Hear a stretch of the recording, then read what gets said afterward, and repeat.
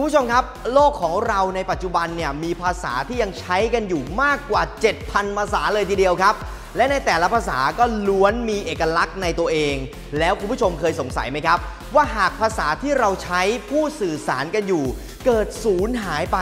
จะมีอะไรเกิดขึ้นกับเราบ้าง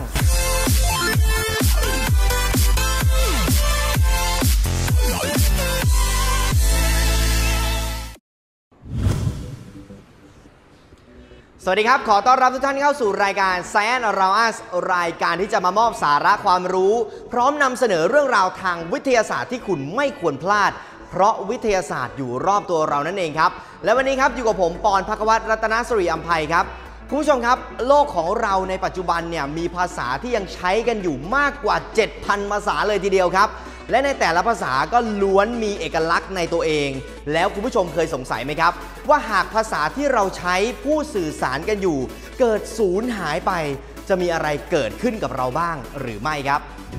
SIL International องค์กรไม่แสวงหาผลกำไรได้ทำวิจัยเกี่ยวกับเรื่องภาษาไว้ครับ ในโครงการ f n e r l o g พบว่า 42%ของ 7,000 ภาษา ที่ยังมีการใช้ในปัจจุบันนั้นกำลังใกล้จะสูญพันธุ์ครับ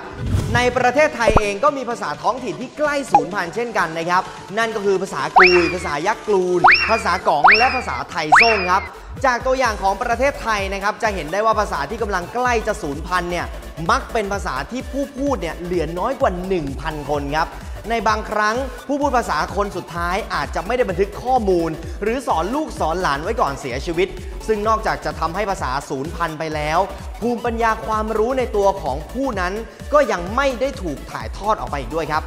จอร์ดี้บาสคอม นักวิจัยในภาควิชาชีววิทยา วิวัฒนาการ และการศึกษาสิ่งแวดล้อม มหาวิทยาลัยซูริกได้กล่าวไว้นะครับ ว่าในทุกครั้งที่มีภาษาสูญหายไป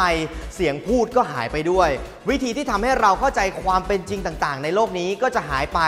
วิธีที่จะเข้าใกล้ธรรมชาติ ตลอดจนวิธีอธิบาย และตั้งชื่อของพืชสัตว์ก็จะหายไปด้วยเช่นกันครับ นอกจากนี้ยังมีผู้เชี่ยวชาญด้านความหลากหลายทางชีวภาพออกมาเตือนอีกนะครับว่าเมื่อเกิดการสูญพันธุ์ทางภาษาพื้นเมืองแล้ว เราก็เหมือนสูญเสียความรู้ดั้งเดิมเกี่ยวกับพืชสมุนไพรอันเป็นความรู้ เฉพาะท้องถิ่นไปด้วยนั่นเองครับ โอกาสในการค้นพบสิ่งใหม่ ๆ ค้นพบยาใหม่ ๆ ในอนาคตก็อาจจะทำได้ยากขึ้น หรือลดน้อยลงนั่นเองครับนักวิทยาศาสตร์ที่ศึกษาพันธุ์พืชเกือบ 4,000 สายพันธุ์ พบว่ามีพืชที่ใช้ทำยาได้ประมาณ 12,000 ชนิด ซึ่งความรู้เกี่ยวกับสรรพคุณของพืชเหล่านี้นะครับ เชื่อมโยงกับภาษาพื้นเมืองกว่า 236 ภาษาใน 3 ภูมิภาค ที่มีความหลากหลายทางชีวภาพ และวัฒนธรรมเป็นอย่างมาก นักวิทยาศาสตร์ให้ข้อมูลอีกนะครับว่า 75%ของการใช้ยาสมุนไพรใน 3 ภูมิภาคนี้ มีการรับรู้กันแต่ภายในผู้ใช้ภาษาเดียวกันเท่านั้น นั่นก็คือหากสูญเสียภาษาไปแล้ว ก็จะทำให้องค์ความรู้เกี่ยวกับยาสมุนไพรสูญหายไปด้วยนั่นเองครับ การพูดคุยสื่อสารกับลูกด้วยภาษาแม่ของเรา การบันทึกองค์ความรู้ที่ถูกถ่ายทอดโดยภาษาพื้นเมืองไว้เป็นลายลักษณ์อักษร ควบคู่กับการพูดสื่อสารในชุมชนอย่างสม่ำเสมอ ถือเป็นการรักษาภาษา